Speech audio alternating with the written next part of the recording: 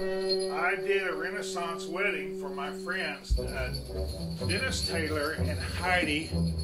She made the costume for her daughter's wedding, for Dennis and Heidi's wedding. But I lost the hat.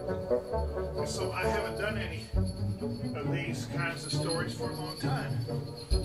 But I decided that I could make a hat, cowl. And so I did.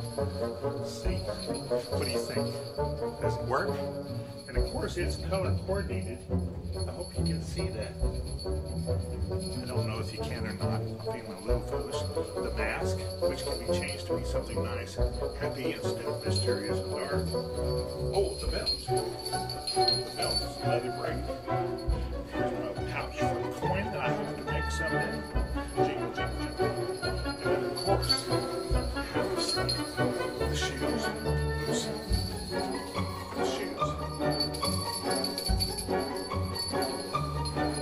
course, I made them scratch. So, there you go. The mystery solved.